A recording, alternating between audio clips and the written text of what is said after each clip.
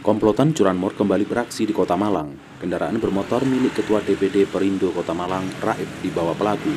Jumat subuh, sebuah motor di kawasan Jalan Adi Irma Suryani, Kota Malang, Raib dicuri. Kejadian terjadi di depan warung sate Bang Saleh, milik Ketua DPD Perindo Kota Malang.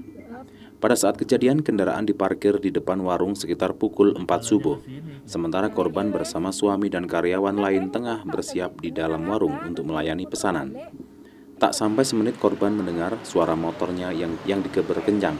Korban histeris saat mendapati sepeda motornya Raib dicuri. Korban mengaku sempat mengunci ganda kendaraannya sebelum meninggalkan area parkir. Naas, motor korban menjadi sasaran pencurian.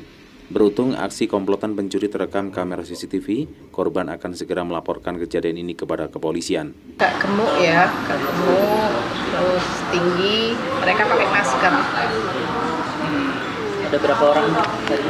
Kalau dilihat tadi ada dua sepeda motor, kalau dari CCTV depan ya, ha, ada dua sepeda motor.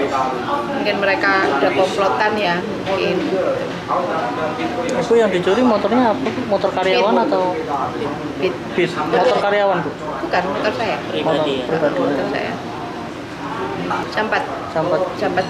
pada saat lagi ngapain, Bu?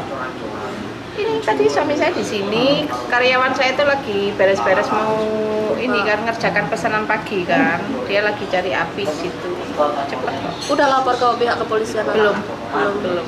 Tapi Mau ngelapor. Hmm? Insya Allah nanti secepatnya. Peristiwa ini merupakan kali kedua pencurian di tempat yang sama.